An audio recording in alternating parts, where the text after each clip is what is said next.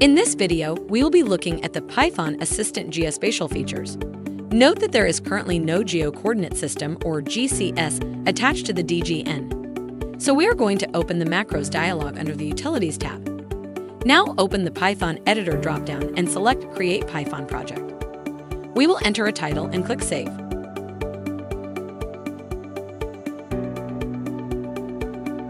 We are going to ask the Python Assistant to add a specific GCS for us.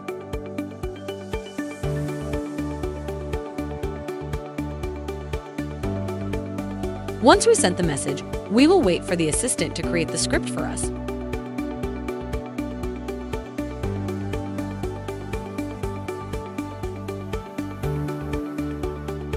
Once the script is created, we can copy and paste it into the editor.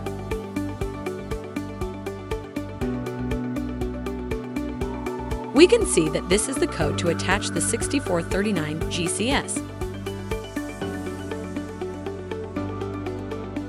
Select Run Python file.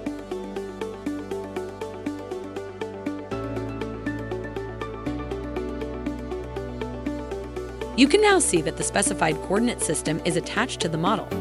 We are now going to remove the coordinate system we just attached and alter the code to attach a new GCS. In the Python code editor, we are going to switch it from 6439 to 6438 and execute the code again, and we will see the new system attached.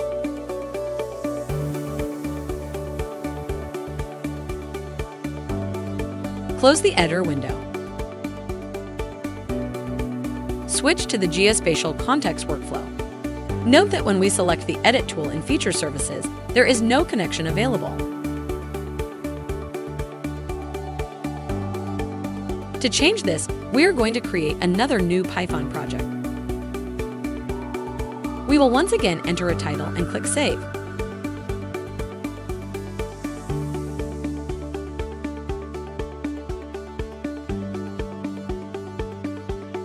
In the Python editor, we will open the dropdown for examples, MicroStation, and Geospatial Context. There are 20 sample scripts you can use here. We will select Geospatial Context Connection. Copy the code and go to the project we just created. Paste the code here. This code creates two connections. But since we only need one, we will delete the second section of code.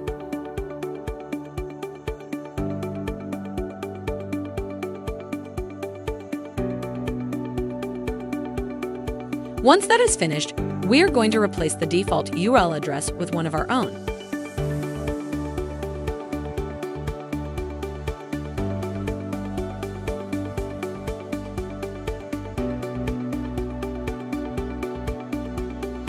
Execute the Python file.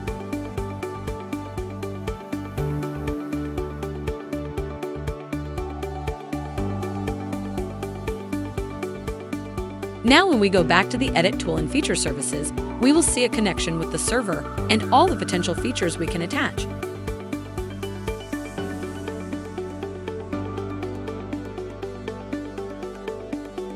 Switch to a top view and click Query Features.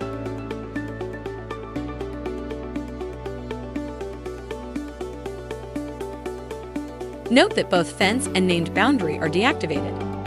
To create a boundary, we will once again create a new Python project.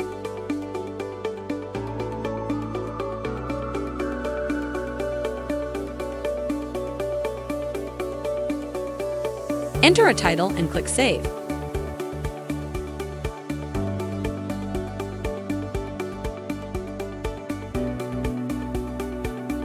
In the editor, we are going to ask the assistant to create a boundary for us with the name we want to assign and covering the extension of the active file.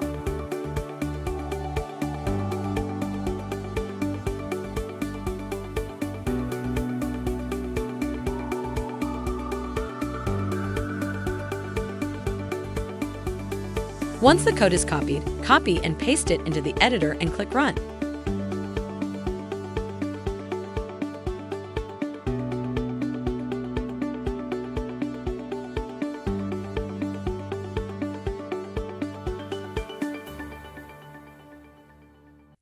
As you can see, the boundary has successfully been created.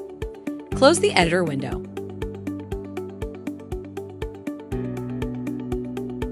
Navigate back to the Query Features dialog. Select the new named boundary as the spatial area.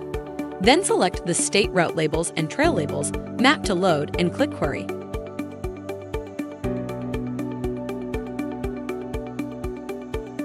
You will see the elements appear within the boundary. We will now switch off the name boundary.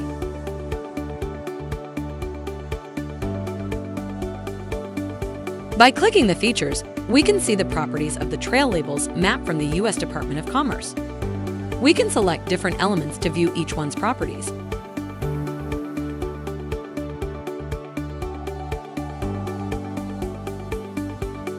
We can activate the Google Background Map to see how the GIS data is aligning with the map.